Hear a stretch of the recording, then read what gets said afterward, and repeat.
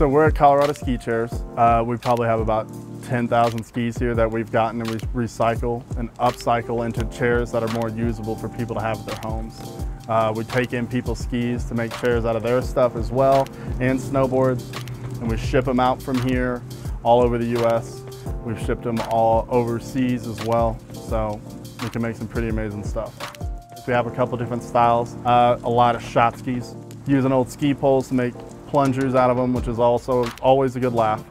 And then um, ski benches, snowboard benches. Uh, there's a lot of different things we've done with skis and snowboards.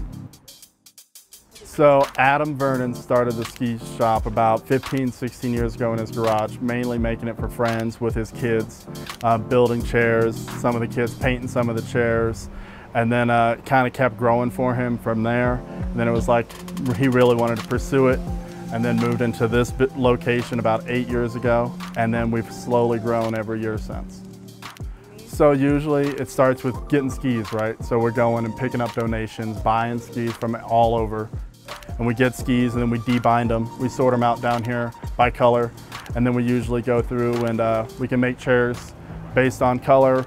Some people will come through and pick out the skis for their chairs, and then that's how the, the skis will get reused. Some skis are kind of rough, so those are the ones we know we're going to sand and then give to an artist to be able to be painted. It's very unique. It's a very unique place to work. It's very uh, fun to deal with people that are excited about what they're getting.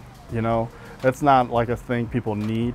It's just something they want. It makes them happy. And it's cool to see them happy when you deliver it to their house and things like that.